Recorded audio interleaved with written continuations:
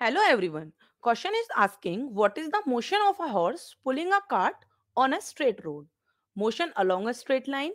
circular motion और oscillatory motion हमसे ये बोला है कि जो हॉर्स जो है, वो अपने कार्ट को स्ट्रेट लाइन पे पुल करता है तो उसमें किस टाइप का मोशन होता है? A horse pulling a cart on a straight road is a straight line motion